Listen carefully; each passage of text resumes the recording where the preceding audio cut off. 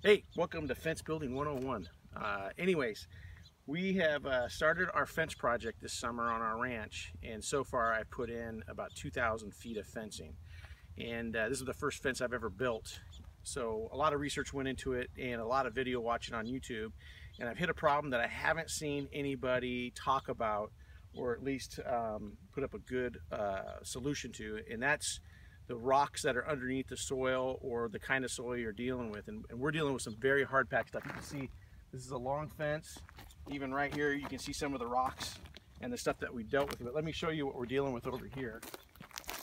Um, we've already put these posts in right here and uh, they've gone in pretty easy.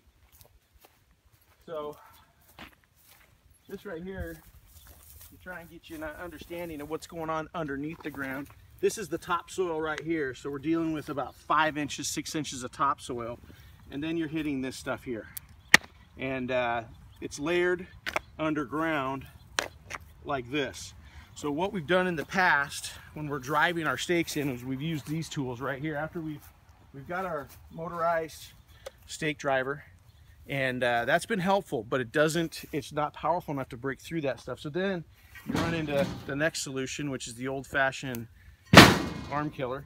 And then finally, you use a sledgehammer and you can see that I've missed a few times, but uh, overall that has taken a, uh, a lot of hard work. So watching a video last night on uh, oil drilling and some other stuff, not a video, I was actually reading an article on oil drilling. I, it just kind of kind of occurred to me that maybe we should try something different today.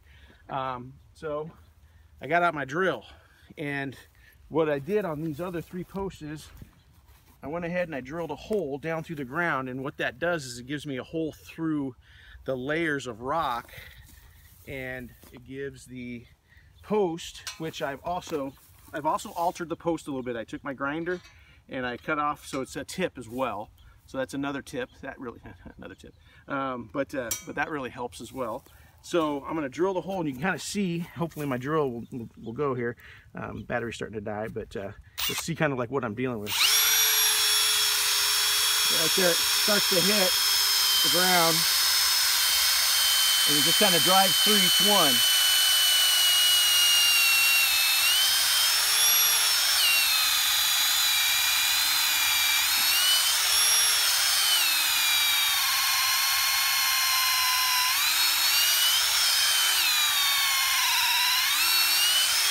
So that's one hole, and then I'm going to back away I'm going to put another hole right here.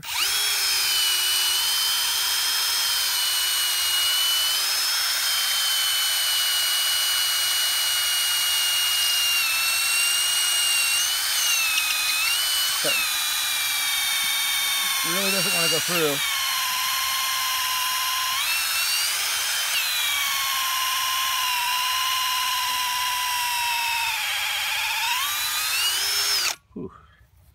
I'll do another one here. A little easier.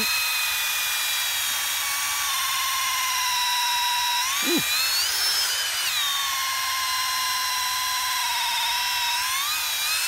That was the easiest one. And then here's the last one I'll do.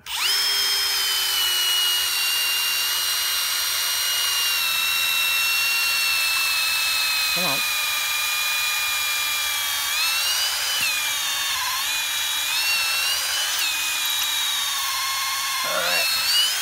All right, so the purpose of that is, is so when I drill down this one, it can fracture these other two ways, providing a space for the, the, the post to go into the ground.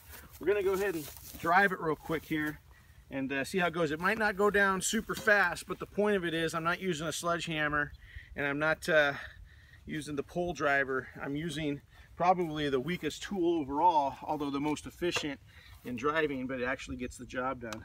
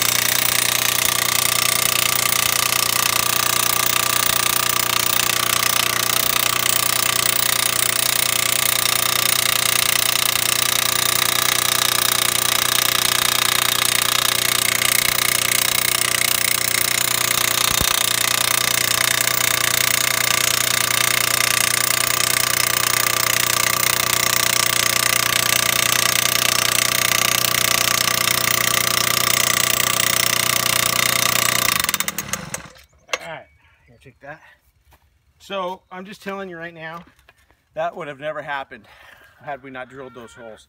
We've been doing this, I've probably put in about 150 stakes or more uh, at this point, along with drilling holes for our wood posts. So I hope this helps somebody out there because uh, I'm at the tail end of my project and I wish I would have figured this out uh, about three months ago. All right, have a great night.